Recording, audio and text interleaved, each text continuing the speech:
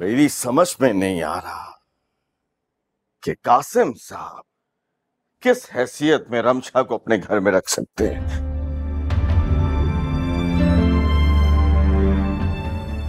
क्या लगती है रमशा उनकी? रिश्ता क्या है? रमशा बता रही थी कि उन्होंने उसको अपनी बेटी बनाया हुआ है। बस बस बस बस। रहने दो तुम।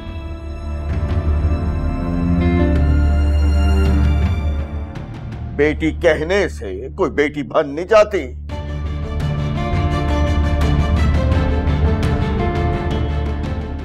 आजकल का माहौल जो है वो ऐसा नहीं है। अब इंसान की नियतों को क्या भरोसा?